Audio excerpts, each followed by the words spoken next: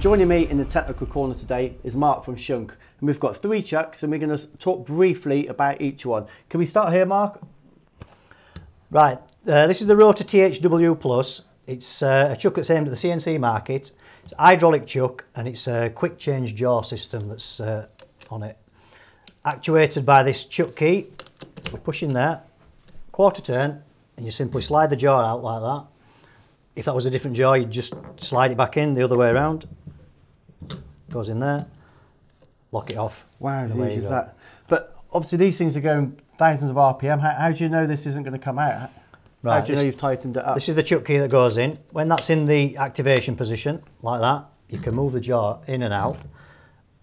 When it's there, that physically will not come out of there until your jaw's engaged in the position that you're looking to do it. So push that in like that, lock it off, and away you go. Perfect. So there's your safety feature. Those are steel jaws, hard jaws. Can you put different types of jaws, soft jaws, and things? Put any type of jaws on here. It's got, it has got a base jaw, which is uh, tenon and uh, slot and tenon on the top. They're claw jaws. You can have soft jaws, hard jaws, any special jaws you want to put on there. That's great for low volume work, isn't it? Good Yeah, grief. You, you think if they're repeating, you keep the jaws with the drawings, you talk, well, that's what, that might be 60 seconds to do them all. Yep. And ideally, you'd have the base jaw with the top jaw on as a set, and you could Yeah. have like 10 different sets, and you can be changing like less than a minute. Fantastic. And you, you say CNC, so any CNC, like a multitasking machine as well? Yep. Any, anyone that, that the chuck will fit on, it'll, it'll go on. It's not limited to any type of machine, really. Yeah. And obviously the centre, we can run it with a bar feed, we can blank it off and use it as a chucker. Yeah, there's multiple uh, centre sleeves that you can put in there, like with part ejectors, coolant nozzles, and quite a few different uh, options. And if we move on to the Rota S Plus, This, similar to that in how it works, the fact that it's a quick change uh, chuck, it's for a manual machine, a manual operator with a, with a chuck key. But instead of that uh, chuck key going there like that, when you wind that out to a point, you've got a button, oh, a button to press there, and that Yeah. jaw comes out. And again, if you want to put that in the other way around, you just simply slide that in there. wow, let me have a go. Oh, crikey. Absolutely simple. Even I can do it. Must be must be easy.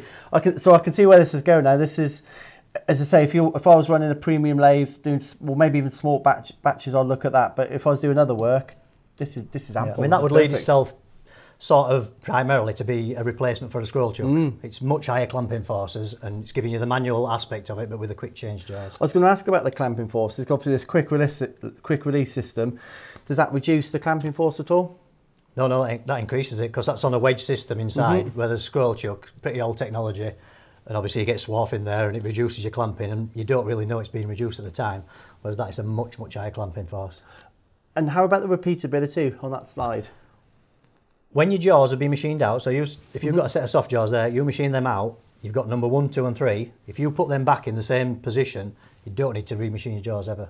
Really? They will go back in the same position every time. And again, presumably we've got the modular centre sleeve as well. Yes, exactly same as what's on the THW. You can use on that as well. Mm-hmm. And this this lightweight chuck at the end. Obviously, I want to know a little bit about the chuck, but I, I, like I like the jaws. Well, I'll talk about the chuck 1st mm-hmm. That's the Rota NCE.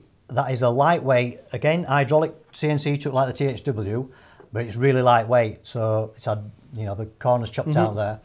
All the design of it is designed to put the load back into the spindle of the machine. So you're not taking an extra load on the chuck. But what it does allow you to do is cut your costs of machining because your chuck can get to uh, full working speed quicker and slow down Ah, between. okay. So if you've got short, a short run of a component, say a minute, you might better get it down to 40 seconds, you know. So it's lightweight, it's efficient. Yeah. And how, how about these? Uh, I'm going to spo- I'm going to spoil your thunder a little bit, but how about how about those? Well, that's the Pronto jaw system. Now, these come as standard quick change jaw chucks. That is a retro system. So mm-hmm. you could have any chuck, as long as it's got the interface for like the one and a half mil by 90 mil serrations at the back, the jaws will fit it. Now, all you do then is you change the top bit there. So that's actually a hard jaw. Mm-hmm. But it works on a cam there. So you drop it on there, quarter turn on there, your cam that locks in position. But what you do with that, you take them off for your first stop, and then you replace that with soft jaws, yeah. and you do that. And again, you don't need to remachine them once they've been done. You just go one, back up on two, there up and ten, nip up them off. twenty. Yeah. Fantastic. Well, that's a retro job for an existing chuck. So it's fair to say across this range, if one of these would apply for every application, any type of machine. Yeah, if you've got a machine that spins round, lathe, obviously, um, SCHUNK do a chuck for it. There we are. Thank you very much, and thank you for watching at home.